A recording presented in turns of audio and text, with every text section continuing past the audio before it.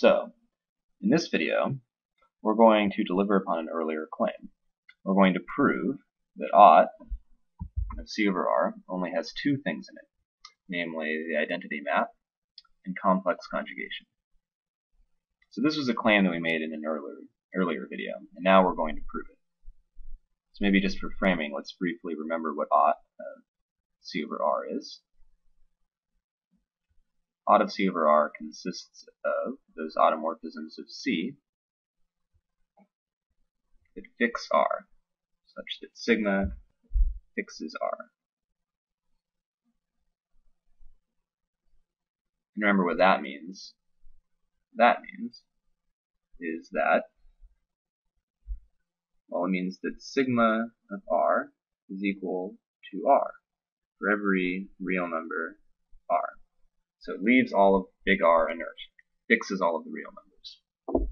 we want to prove is there are only two things that do this. There are only two guys not of C over R. Is there one, the identity, and complex conjugation.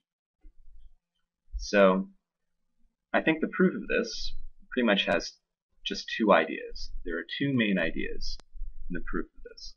So let's look at both of them individually because they're both in, important in their own right and they're ideas which will keep coming up in the future.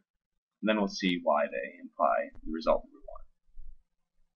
So the first point, the first idea, is that if you've got any sigma in Aut of C over R, it's totally determined by what it does to I. In other words, if we know what sigma of I is, so sigma of I determines it's going to determine sigma of zeta for every for every complex number zeta. Sigma of i determines everything. Once you know sigma of i, the game is up and kind of nothing more can happen. So why is this? Why would this be true? Why is sigma of i going to determine everything? Well, let's let's take a look. So we want to know what sigma of zeta is. And we remember that zeta can be written in the form a plus bi, with a and b real numbers. And that's the crucially important fact. This fact that we can write it as a and b, and these are inside of r. Because remember, the zeta has to fix r. So that's the crucial fact. But let's see it. Let's see why that's the crucial fact. So sigma of zeta, alright, well, that's sigma of a plus bi. And then using the automorphism properties, using the fact that this guy commutes, that sigma commutes with addition and multiplication, this is going to be equal to sigma of A plus sigma of B times sigma of I. Now we see why it was so important that A and B were inside of R. Because sigma fixes R. It leaves all of R inert. So that tells us that sigma of A is equal to A and then sigma of b is equal to b. So this whole thing is just equal to a plus b times sigma i. So sigma of a plus bi, this guy, is equal to a plus b times sigma of i. So sigma of i is the only thing that could change. This is the guy determining the whole show. Sigma of i is. Alright, so that's this first claim sigma is totally determined what it does to i. And this is an idea we'll keep on using. We're kind of using this linear algebraic fact that C is a vector space over R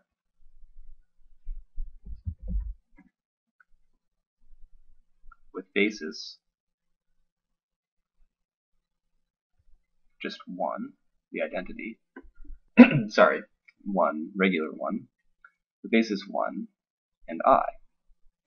And that's really what makes this magic work, this total determination here. And we'll end up using analogous facts to this later on. Whenever we're talking about something called finite extensions, we'll end up using a fact like this. And this fact is basically what makes finite extensions nice. So we'll talk more about this later.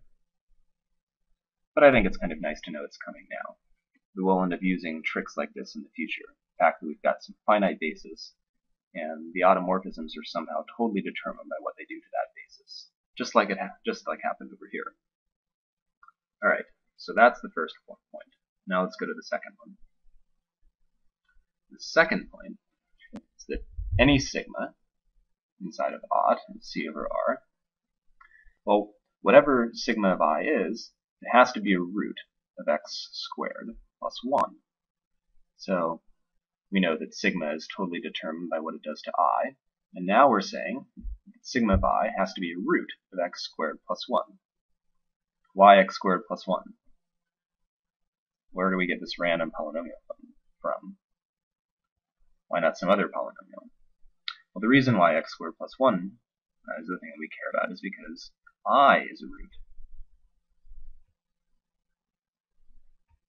of x squared plus 1. And we'll see that in a second. But that's why this polynomial is important.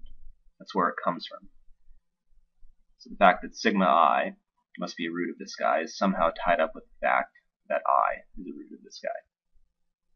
So let's see that. And again, it's going to be that kind of familiar fact that we stressed a lot in the first video, that sigma commutes with real polynomials. With real polynomials.